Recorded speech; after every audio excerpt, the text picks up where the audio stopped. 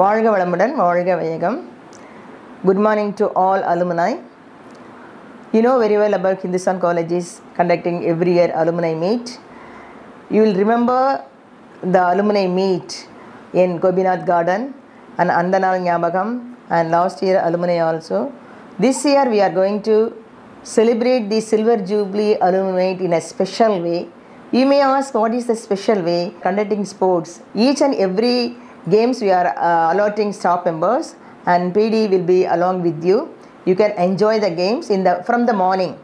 We are going to have the celebration in the evening at 4:30 pm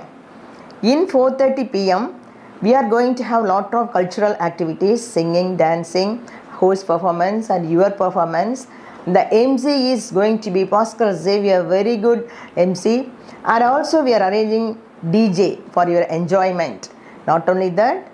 we are giving aru suvai unavu and tasty food. You can enjoy that. Your views to our college. In what way you can contribute to your college for your as a guest lecturer as employment opportunity? And also uh, you can give any sponsorship for your college in the form of smart board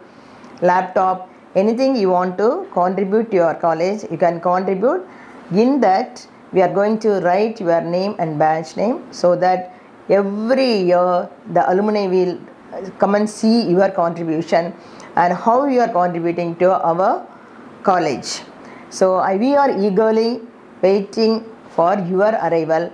and then these um, graduates this year graduate who are going to get uh, 16th uh, the degree that students also can join with us enjoy yourself and we are proud of you as a HCASian you are always remembering about our cultures alumni meet and student council sports in our college is giving a lot of platform you people for to improve and they they are providing lot of chances for you people to and, uh, grow in a higher way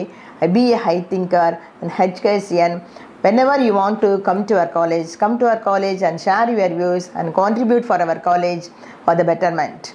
Once again i am welcoming you all alumni for this event